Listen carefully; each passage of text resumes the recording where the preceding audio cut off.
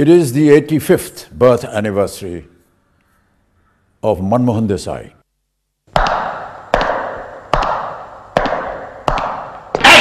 ऐसा आदमी ना था ना है ना होगा entertainment, entertainment, entertainment. Manmohan Desai, Manmohan Desai, Manmohan Desai.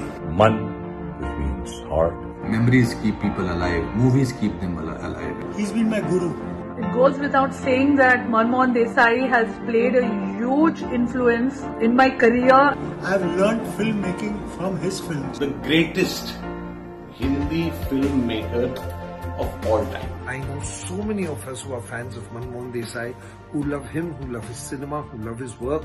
Uh, we really, really miss Manji, the kind of cinema he would have made. Mohan is enchanter